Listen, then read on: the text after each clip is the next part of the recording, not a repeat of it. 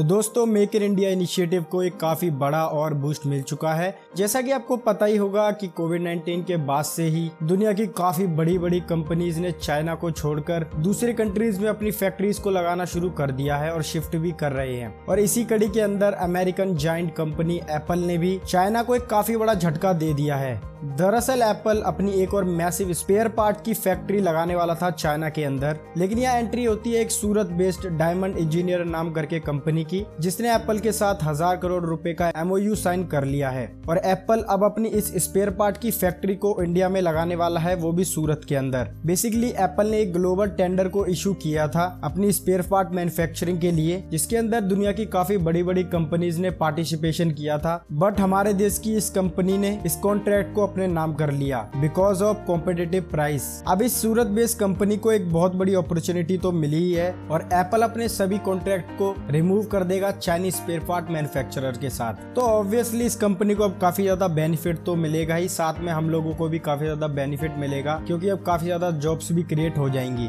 इसी टाइम पर एक और अच्छी खबर हमें सुनने को मिली है कि जो एप्पल है, वो अब अपने एयरपोर्ट्स को भी मैन्युफैक्चर करने वाला है इंडिया के अंदर। और रूटर्स के मुताबिक एक जैपनीज वेबसाइट ने तो ये भी क्लेम किया है कि एप्पल अपने एयरपोर्ट्स के साथ साथ बीट्स के हेडफोन को भी इंडिया के अंदर ही मैन्युफैक्चर करने वाला है। और आपको शायद ये बात भी पता नहीं होगी बट एप्पल अब तक इंडिया से वन बिलियन डॉलर तक के स्मार्टफोन्स को एक्सपोर्ट भी कर चुका है। एप्पल अपने फ्लैगशिप डिवाइसेस जैसे कि आईफोन 14, आईफोन 13 इंडिया में ही मैन्युफैक्चर कर रहा है। वैसे एप्पल 2017 में भी अपने आईफोन को मैन्युफैक्चर करता था इंडिया के अंदर लेकिन वो लो डिवाइस होते थे यानी कि जो पुराने डिवाइस हो चुके हैं जैसे कि आईफोन 6, आईफोन 8 लेकिन जैसे जैसे एप्पल सैमसंग जैसी बड़ी बड़ी कंपनीज़ अपनी फैक्ट्रीज को चाइना से इंडिया में शिफ्ट करेंगी तो गवर्नमेंट का जो एम है 2026 तक का कि 126 बिलियन डॉलर तक हम एक्सपोर्ट करेंगे स्मार्टफ़ोन और इलेक्ट्रॉनिक डिवाइस के अंदर, वो शायद कंप्लीट हो जाएगा। वैसे आपकी क्या राय है इन सब चीज़ों को लेकर हमें कमेंट में ज़रूर बताना। बाकी वीडियो अच्छी लगी हो तो वीडियो को लाइक करते हो जाना, चैनल को सब्सक्राइब कर देना। मिलते हैं नेक्स्ट वीडियो में। Thank for watching